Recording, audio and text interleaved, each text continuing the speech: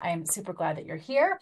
Welcome back. We are talking tonight about small groups. So, if you don't know who I am, I'm Shannon Kiebler. I'm the moderator of our Facebook group online. I'm the creator of the Math Genius Squad, which is a professional development membership for math expressions users. And I am a teacher just like you. So, we are talking tonight about small group. What is small group? How do we use small group? And so, let me get us started. This happens to be one of the hottest topics that I get asked questions about, which tells me that we really don't see small group instruction as something that is natural, part of our daily block. It's something that feels forced or it feels like it's extra. And so I want to kind of clear some of that up and talk about what it could look like and hopefully share some information that just makes life a little bit simpler. So here we know about small group. So small group tonight, we're going to talk about what does it mean? We're going to talk about examples of when to pull students. We're going to talk about how easily to pull them, what small group could look like, and then any additional support. So that's our goal for tonight. We're hoping to get through all of this in just here a few minutes. So let's start with the basics. Okay, what is small group and what is not? This is going to be the simplest explanation you're ever going to hear. Okay, if you have all of your class, it's not small group. If you have anything other than your entire class, you could call it small group. Okay, so small group could look like 15 kids with me, 15 kids working independently at their desks.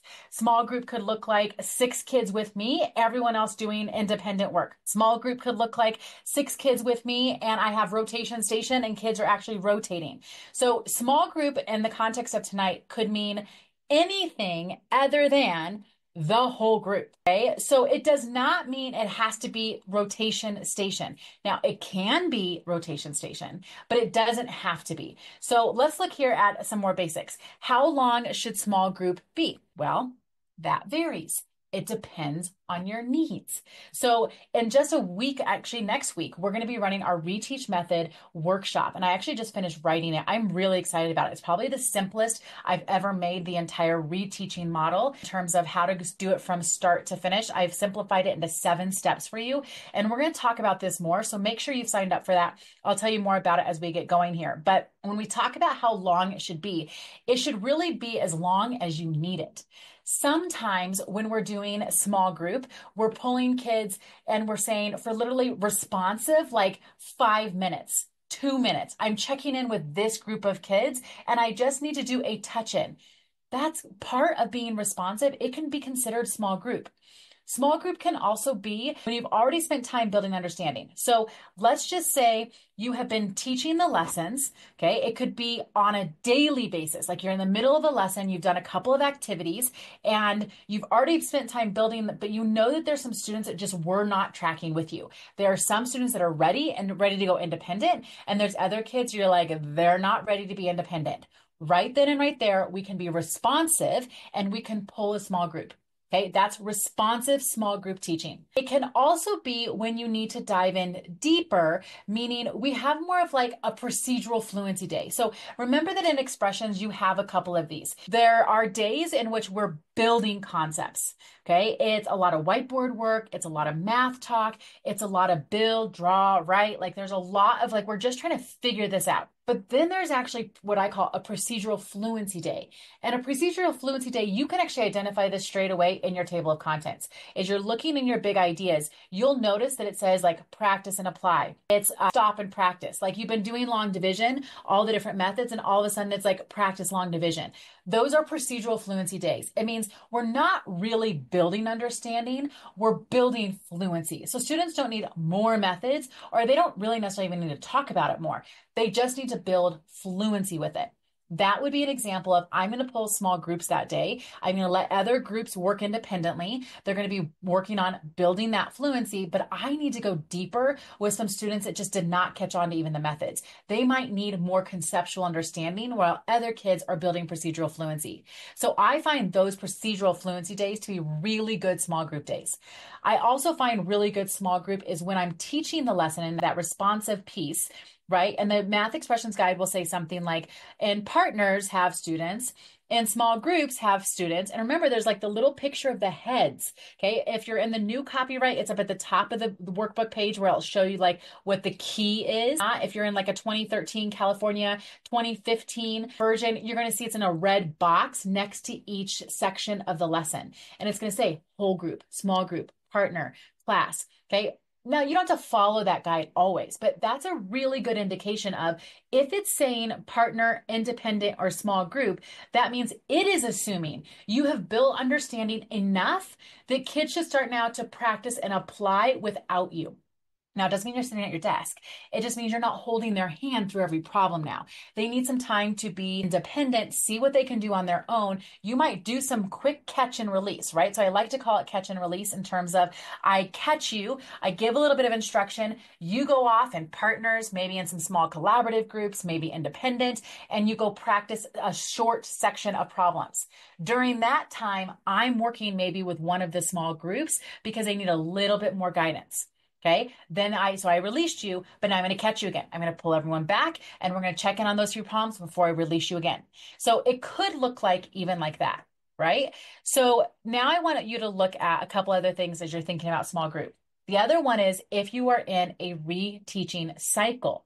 So these are based on the responsive lesson. In my lesson, as I'm teaching in core during core time, Okay, I'm working on these two. This is during core, but intentionally in that when reteaching cycle. We call it the mastery learning loop in math expressions.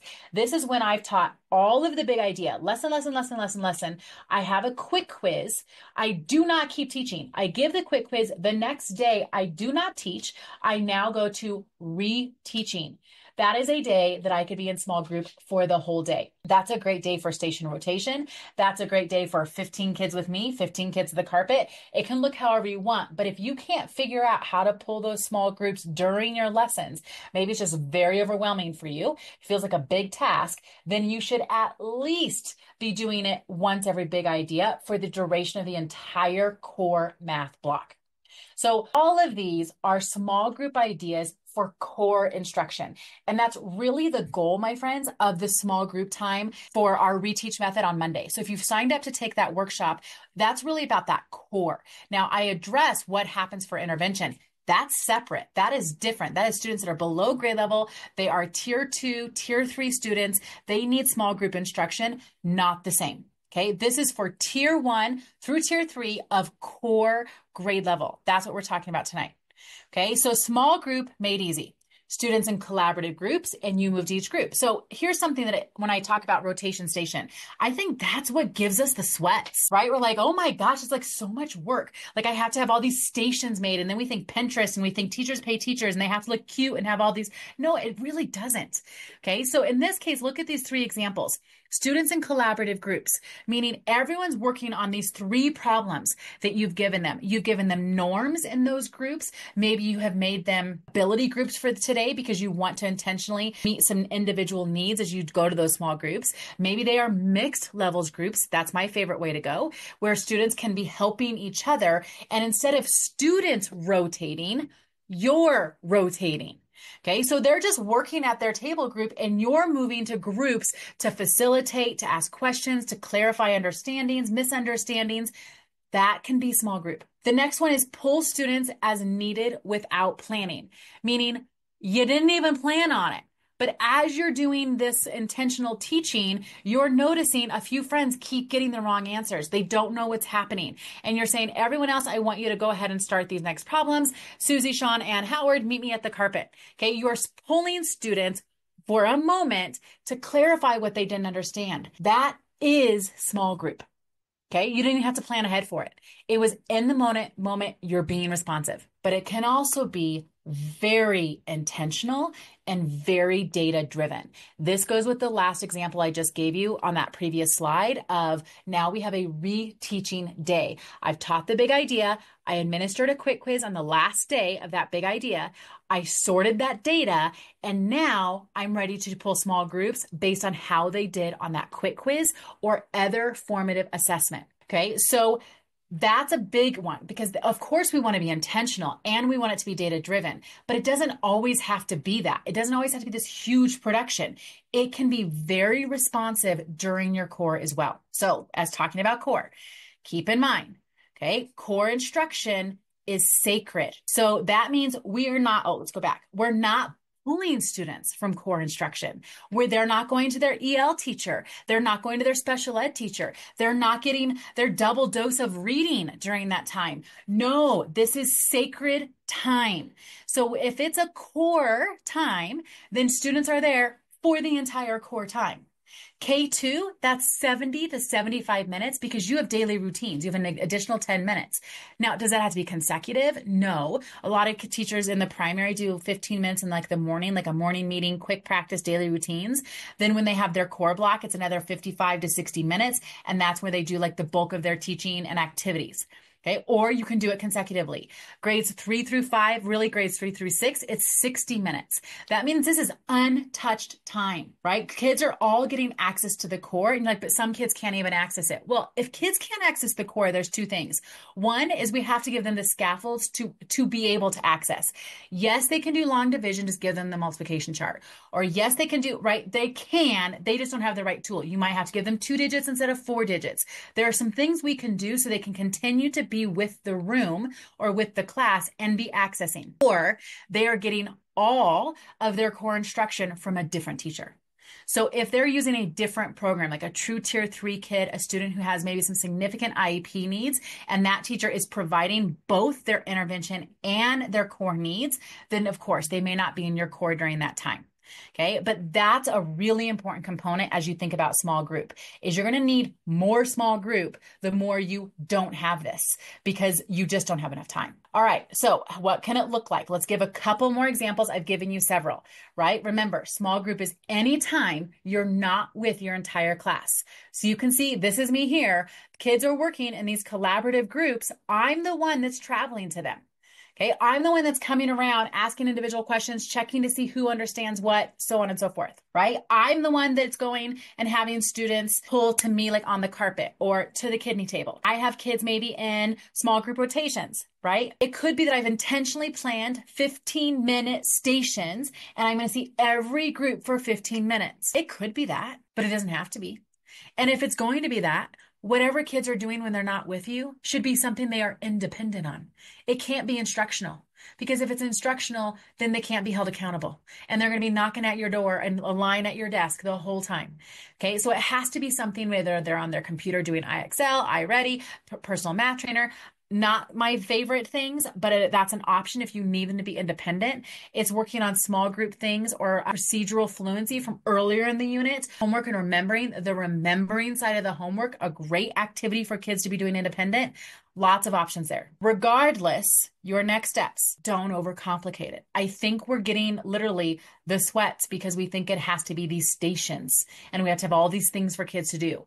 It ta- whenever time I do stations, it takes me like the whole math block just to explain what they're supposed to be doing. I mean, what a waste of instructional time.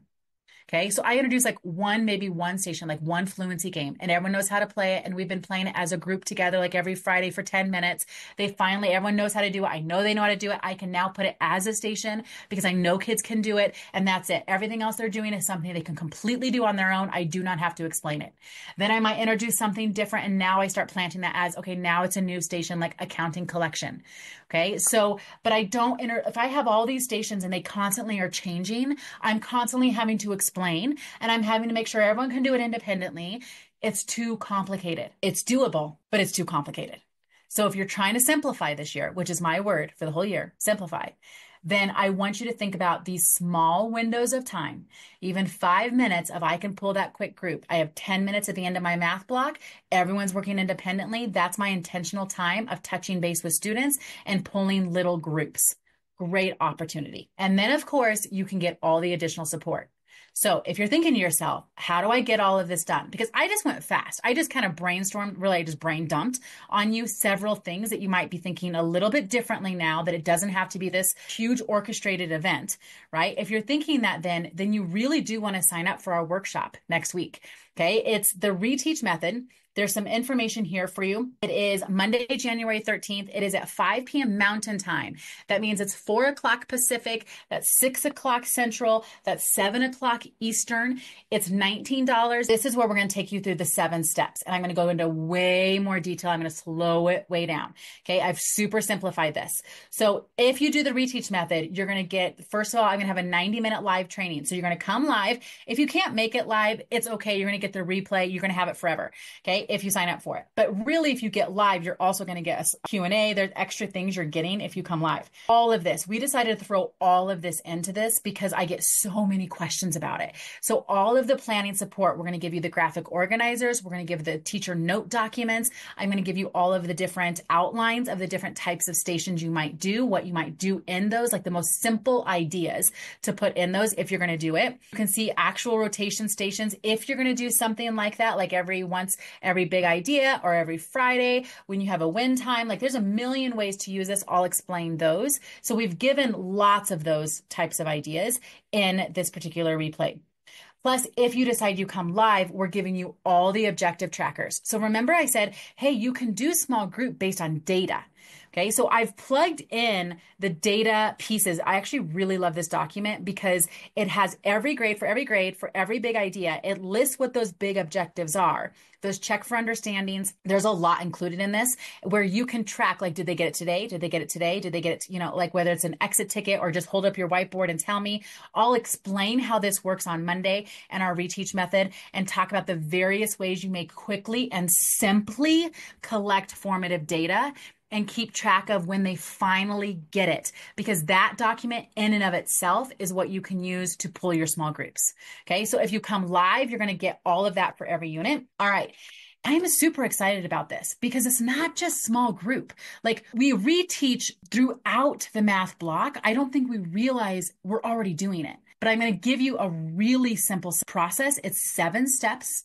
And then with that, I'm going to explain some of these other pieces that just feel really overwhelming, specifically the small group station rotation situation. If you're interested in that, I'm going to give you some resources, tell you more about it, but I'm going to really focus on how do you know what to reteach, who to reteach, when to reteach, and how to do it. Like, how do I pick? They didn't get anything right on the quick quiz.